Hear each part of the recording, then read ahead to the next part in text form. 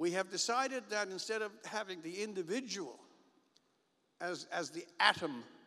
of the democratic process, that under the guise of these, these ridiculous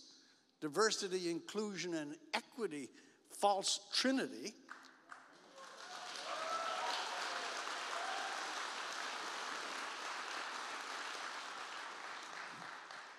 that we measure, we measure rights by designated groups. And by the very fact that you have designated groups, it means you have undesignated groups, and that there is not an inequity, there is a measurable inequality in the operation of civic power and civic license.